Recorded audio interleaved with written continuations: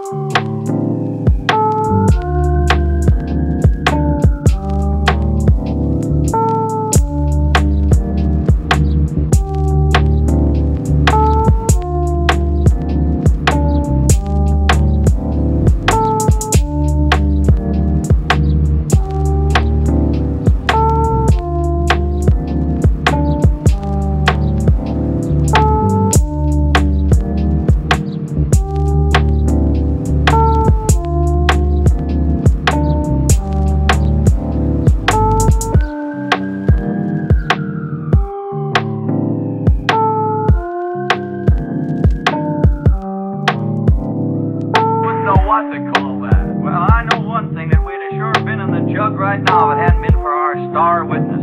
And boy, he's a real pal of music, and I want you to meet him.